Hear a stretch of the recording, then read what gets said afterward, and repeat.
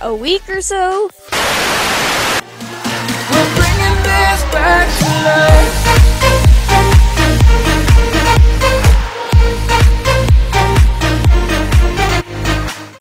Back to 2017 and welcome to another video. Today I did a little experiment on Star Stable because I felt like I kind of had to because I see a lot of people like on the Star Stable not caring for their horses and I want to show you guys that it actually does matter for you to care for your horses on the Star Stable. So I kind of had to do experiments on all of my horses but I only did it mainly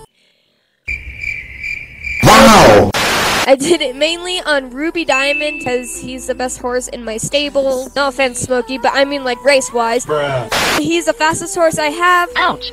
So I was too lazy to do all of those chores to all of my horses except one. So I just didn't pay for Star Stable care help for a week or so and to get them to this emotion. And during that when they kept getting sadder and sadder i kept recording ruby diamond's data to see if he slowed down or not. Race so i won't be racing with ruby diamond in this outfit. I will be racing in this outfit. So without further ado let's get on. to this and why you should take care of your horse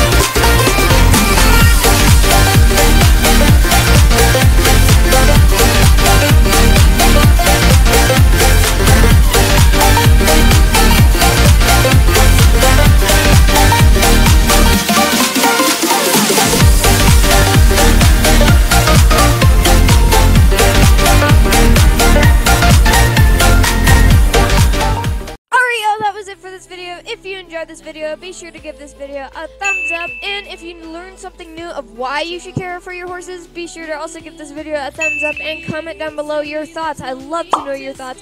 And if you're new to my channel, please don't forget to hit that subscribe button to join the Great Herd because we are amazing. And without further ado, don't forget to comment, like, and subscribe. And I'll see y'all in the next video. Bye!